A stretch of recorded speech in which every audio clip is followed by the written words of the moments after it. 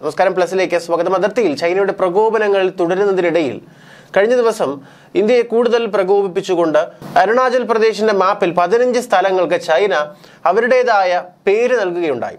ശക്തമായ താക്കീതാണ് ഇതിന് ഇന്ത്യ നൽകിയത്.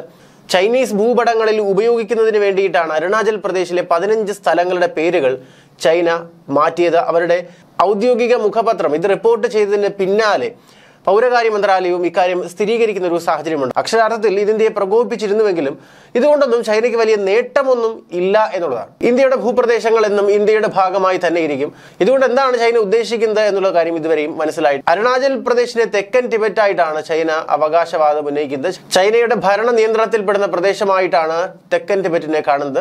കഴിഞ്ഞ വർഷം അരുണാചൽ പ്രദേശിനെ ഇന്ത്യയുടെ ഭാഗമായി കാണുന്നില്ല എന്ന് ചൈന പറഞ്ഞിരുന്നു. ഈ പതിനഞ്ച് സ്ഥലങ്ങൾക്ക് ചൈനീസ് ചിഹ്നങ്ങൾ ടിബറ്റൻ റോമൻ അക്ഷരമാലകൾ എന്നിവ ചേർത്താണ് പേര് നൽകിയത്.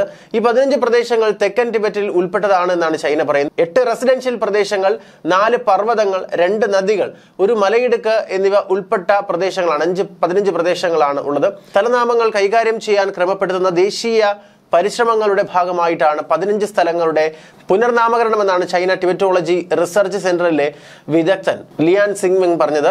രണ്ടായിരത്തി പതിനേഴിൽ ചൈന അരുണാചൽ പ്രദേശിൽ ആറ് സ്ഥലങ്ങളുടെ പേരുകൾ ഇത്തരത്തിൽ മാറ്റം വരുത്തിയിരുന്നു. ചൈന പുതിയ അതിർത്തി നിയമം പുറത്തുവിടുന്നതിന് മുന്നോടിയായിട്ടായിരുന്നു ഇത്തരത്തിലുള്ള ചൈനയുടെ ഒരു പ്രകോപനം രണ്ടായിരത്തി പതിനേഴിൽ ഉണ്ടായത്. അന്ന് ഇന്ത്യ അതിശക്തമായ താക്കീത് നൽകുകയുണ്ടായി. ഇന്ത്യയുമായി അതിർത്തി തർക്കം നിലനിൽക്കുന്നതിനിടയിലാണ് ഇപ്പോൾ വീണ്ടും ഇത്തരത്തിലുള്ള നീക്കം ഉണ്ടാകുന്നത് എന്നുള്ളത് ശ്രദ്ധേയമാണ്. അതേസമയം ചൈനയെ കൊന്നു കൊലവിളിക്കുകയാണ് ട്വിറ്റർ ഹാൻഡിലുകൾ. ഹർപ്രീത് എന്ന ഒരു ട്വിറ്റർ ഉപയോക്താവ് അക്ഷരാർത്ഥത്തിൽ ചൈനയുടെ ഈ പേരുമാറ്റത്തെ ട്രോളി കൊല്ലുകയാണ്. ഈ ട്വീറ്റിൽ ചൈനയുടെ പല നിർണായകമായ സ്ഥലങ്ങളുടെയും പേര് ഇന്ത്യയുടെ രീതിയിൽ മാറ്റിയിരിക്കുന്നതാണ് നമുക്ക് കാണാൻ കഴിയുന്നത്. അതിൽ ബെയ്ജിങ്ങിന് നൽകിയിരിക്കുന്നത് ബുജങ് നഗർ എന്നാണ്. ടിബറ്റിന്റെ തലസ്ഥാനമായ ലാക്സയ്ക്ക് നൽകിയിരിക്കുന്നത് ലക്ഷ്മൺഗഡ് എന്നാണ്. അതുപോലെ തന്നെ ഗാങ്ഷുവിന് ഗൻഖ എന്നും പേര് നൽകിയിട്ടുണ്ട്. ഷാങ്ഹായിക്ക് ശംഭു നഗർ എന്നും സിൻജിയാങ്ങിന് ശിവഗംഗ നഗർ എന്നും പേര് മാറ്റിയിട്ടുണ്ട്.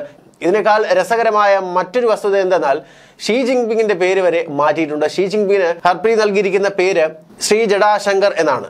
നിരവധി ട്രോളുകൾ ഇതിനോടകം തന്നെ ചൈനയെ ലക്ഷ്യം വെച്ചുകൊണ്ട് ചൈനയുടെ ഈ പേരുമാറ്റവുമായി ബന്ധപ്പെട്ടുകൊണ്ട് വരുന്നുണ്ട്. അതിൽ ഏറ്റവും ശ്രദ്ധേയമായതാണ് ഈ ഹർപ്രീതിന്റെ ട്വീറ്റ്. ഇനി ഈ പ്രദേശങ്ങളെല്ലാം പിടിച്ചടക്കുന്നതിന് വേണ്ടിയായിട്ടാണോ അതിന് മുന്നോടിയായിട്ടുള്ള ഒരു സൂചനയായിട്ടാണോ ചൈന ഇത്തരത്തിൽ പേരുമാറ്റം നടത്തിയത് എന്ന കാര്യത്തിൽ വ്യക്തതയില്ല. ഏതായാലും നിലവിൽ ഏകദേശം മുപ്പത്തി എട്ടായിരം കിലോമീറ്ററോളം അതിർത്തി ചൈന കൈയടക്കി വച്ചിരിക്കുന്നതായിട്ടാണ് ഇന്ത്യ ആരോപിക്കുന്നത്. അതിനുവേണ്ടിയുള്ള അണിയറ നീക്കങ്ങൾ ഇന്ത്യ തുടങ്ങിയിട്ടുണ്ട്. കിഴക്കൻ ലഡാക്കുമായി അതിർത്തി പങ്കിടുന്ന അക്സായി ചിങ് എന്ന പ്രദേശത്ത് ഇന്ത്യയുടെ പ്രദേശങ്ങൾ ചൈന കൈയടക്കി വച്ചിരിക്കുന്നുവെന്ന് ഇന്ത്യ വാദിക്കുന്നുണ്ട്. ഇതിനു മുൻപ് നടന്ന യുദ്ധത്തിൽ ചൈന കയ്യേറിയ പ്രദേശങ്ങളാണ് ഇത് എന്നാണ് കരുതപ്പെടുന്നത്. എന്തായാലും ഈ പ്രദേശങ്ങൾ ഇന്ത്യ തിരിച്ചു പിടിക്കാനുള്ള നീക്കങ്ങൾ തുടങ്ങിയിട്ടുണ്ട്. പാകിസ്ഥാൻ അനധികൃതമായി കൈവശം വച്ചിരിക്കുന്ന അയ്യായിരത്തി ഒരുന്നൂറ്റി എൺപത് ചതുരശ്ര കിലോമീറ്റർ സ്ഥലം ആയിരത്തി തൊള്ളായിരത്തി അറുപത്തി മൂന്നിൽ ചൈനയ്ക്ക് കൈമാറിയതായും ഇന്ത്യ ആരോപിക്കുന്നു. കഴിഞ്ഞ ഇരുപത് മാസമായി ഇന്ത്യയും ചൈനയും തമ്മിലുള്ള അതിർത്തി തർക്കം വളരെ രൂക്ഷമായി തന്നെ നിൽക്കുകയാണ്. ഇത് പരിഹരിക്കപ്പെടാനുള്ള നയതന്ത്ര തല ചർച്ചകൾ നടക്കുന്നുണ്ടെങ്കിലും അത് ഒരിടത്തും ഇതുവരെയും എത്തിയിട്ടില്ല. News desk Malayali Vartha plus.